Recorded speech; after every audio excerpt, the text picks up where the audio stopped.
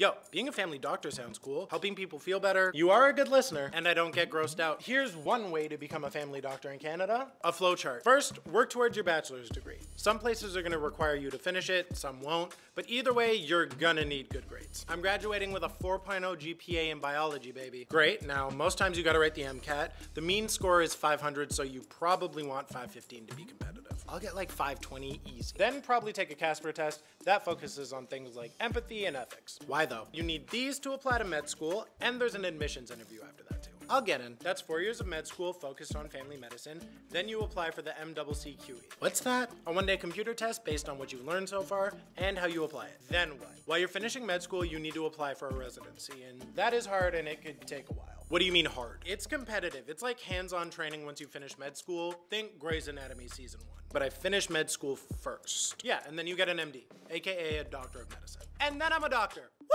No, you still have to do your family medicine residency, and that'll take a couple years. While you're at it, apply for the licentiate of the Medical Council of Canada. That's so many things to do while I'm doing something else. When you finish your residency, take exams for the College of Family Physicians of Canada. It's been a decade. Am I finally a family doctor now? No, you have to apply to your province's regulatory body. They give you the license to practice medicine. And then I'm a doctor. You got it. Now, about this rash, you're barely gonna feel it.